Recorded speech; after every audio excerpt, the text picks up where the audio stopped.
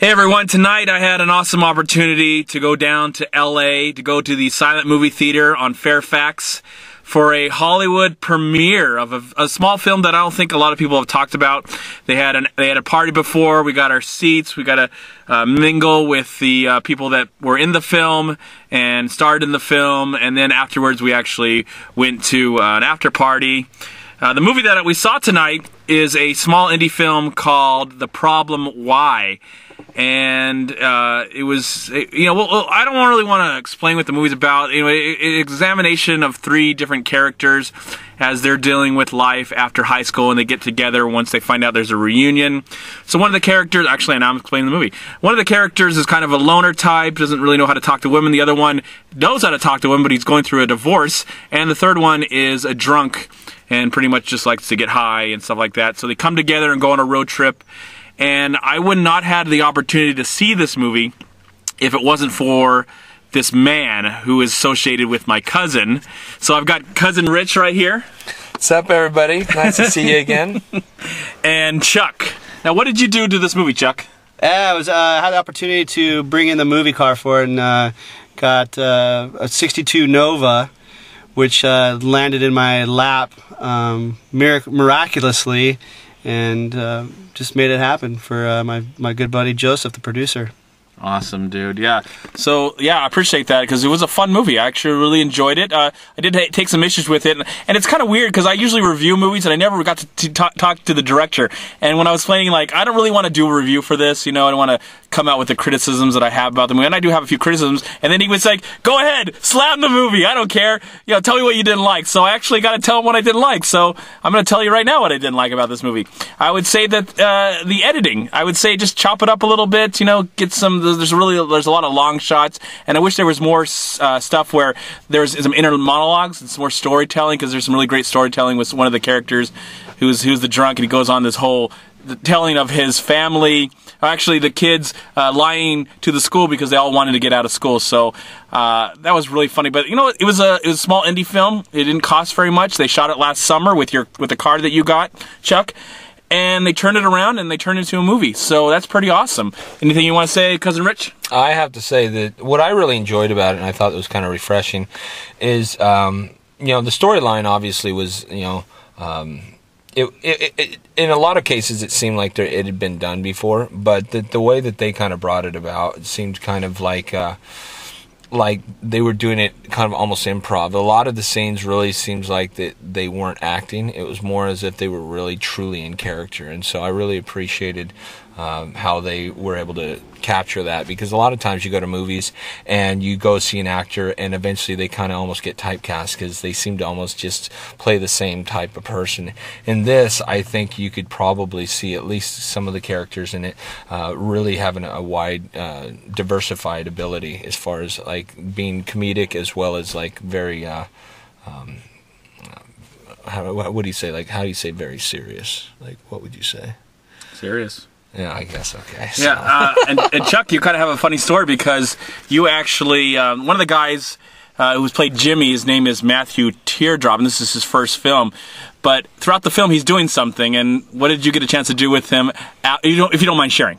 Oh, not at all. No, man. I uh, right when I walked out the door after the movie, I just wanted to chase down some of the some of the people I hadn't was it oh, oh didn't you oh, excuse me wasn't able to meet, and I immediately went up to Matt and said, "Hey, man, what's going on? That was a great job. Congratulations." He's like, "Here you go." Have a drink, and I'm all, yeah, baby, let's go, because this is what they were doing throughout the movie. They were just yeah. having cocktails, having a uh, well, shot of shot of whiskey, shot of coke, shot of whiskey, shot of coke, maybe a little peyote too. but you hey, have to man, see the movie to find out. Yeah, man, you got to see the movie to check it out. Great flick, enjoyed it thoroughly, and uh, you know what? Uh, I think Joseph's going to do really well with what he's doing, what it's uh, he's got going on in the future, and like uh, what I think is the movie was really authentic, a lot of authentic characters, and uh, you know, genuine style, genuine what do you call it? Style. Style, and I really, really like what they were doing, and just so fortunate I got the car in the movie. So yeah, how you, how, like that, man. I got my car, name in the lights, and man. your not, and your name was Can on credits. It? It was yeah. picture car. Picture car. So, so, congratulations on that. Yeah. So anything else you want to say really quick, Rick, before we close out? Um, I just have to say that if Snow White had the same mirror that's in this movie, she would have had a way better trip. yes, we, we met one of the actors that played. His character's name is the Mirror in the of the Universe, the Mirror of the Universe, yeah. played by an actor, played by an actor named uh, Graham uh, Mackey, who actually was in some other films we went uh, saw. Uh, we, I've actually seen Hit and Run. He was naked in that movie. Thankfully, he was not naked in this film. But you know, uh, I really had a good time. It's a small indie darling uh, little film uh, that is, uh, you know, not for everyone. It's going to probably bore some people, but at the same time, I, I think it had a heart to it.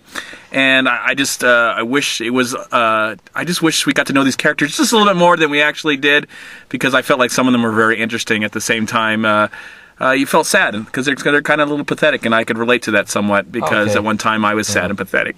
Okay, one last thing I'd have to say is is uh, about the guys that did this is what one of the things is you guys obviously that watch this, and I, I think a lot of you kind of come from the same background. That's why you watch these reviews is that you actually care about like what you want to spend your time seeing. And what I really enjoy about seeing indie films is you get to see the development. The, you know, it's one thing to go and see a director or a producer uh, and what they're able to create. You know, with a hundred million dollar budget, and once they've like had five, ten really successful movies under their belt, but to see them like right at their beginning stages is really kind of it's it's a great experience because you get to see what they do when they come from having no budget and and and what kind of story they're able to develop with that. And so I think what we're going to see from w- watching what we did is that these guys uh, are definitely going to be able to bring some more things to the table in their next uh, uh, their next productions, and I, I'm really looking forward to seeing them.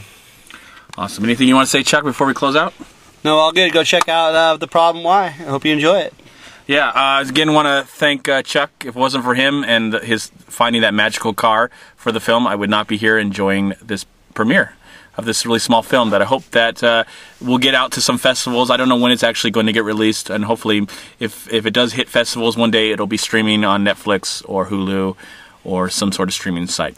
All right, everyone, thank you so much for watching this video. I'm also going to post uh, the intro to the movie. What I'm saying down below, I'm going to give you a link to the movie trailer. At the same time as I'm also going to, if I didn't post it before this or after, I'm going to post the the video of the director and the producer actually introducing the film and talking about that a little bit. So look forward to that coming to my channel. Thank you so much for watching. I'm Movie Man Chad. Please like, comment, subscribe to my channel. I'm also on Twitter and I'm on Facebook. And please go to WeLiveFilm.com and subscribe right here on YouTube to We Live Film. Also go to Long Beach Acting and Film Association right here on Facebook and Twitter. Please also go to moviepilot.com and if you've enjoyed this video, please click right here, subscribe to my channel. I'd really appreciate it. Have a great day, a wonderful night, and a wonderful life. And it's time to go home now. All right, everyone. Peace out. Peace, peace.